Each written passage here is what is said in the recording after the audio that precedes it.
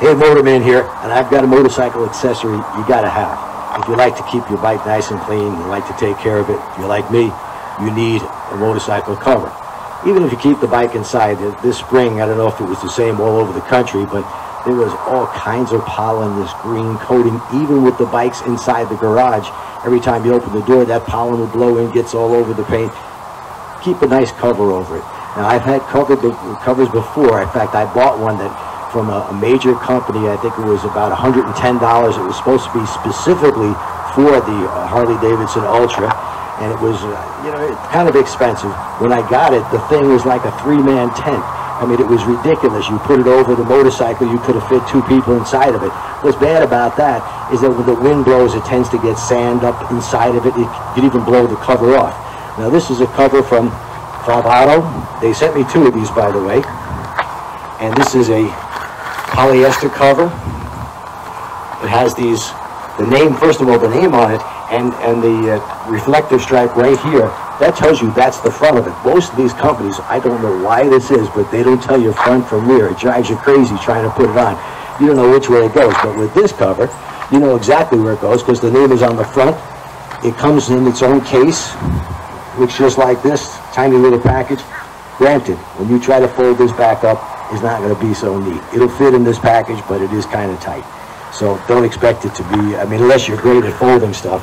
Well, one of the benefits of it, it's lockable. You've got these two locking rings here. And this, by the way, is on my wife's Ultra.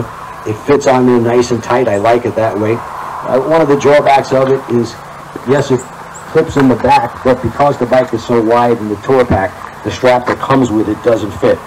But here's the best part of this. $23. Are you kidding me? 23 bucks. You're gonna go on an overnight trip, you wanna keep your bike covered.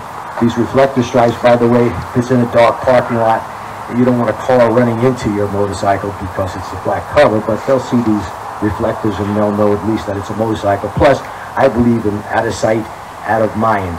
So you get a bunch of bikes at a hotel, keep yours covered, let them take the one that's not covered. They know exactly what it is. They don't have, the thief doesn't have to go through the trouble of looking under the cover. Again, this is the extra large model.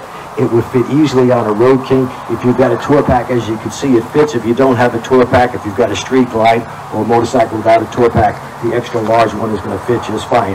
And they have several sizes if you've got a smaller bike. So, uh, by the way, they sent me two of these, and the reason was I wanted to have one for inside and one for outside. To test this, I left this bike outside. Yeah, it's my wife's bike, I get it. But I left it outside knowing we were going to have a thunderstorm. I left the bike outside. It poured rain. It was windy as hell. And when I took the cover off the next day, completely dry underneath, the cover never came off, and I didn't even have it tied to the motorcycle. I didn't use a lock or the straps or anything. It goes on there pretty tight. It works very well. Inside the cover, you got that gray material, so when you put it on, if the bike is a little hot, it's not going to melt. That's the point of that. So I highly recommend this. Go to Amazon, Favoto, or tell them Motor Man sent you. And for 23 to 25 dollars, depending on where you get it from on Amazon, you cannot possibly beat this. Till next week.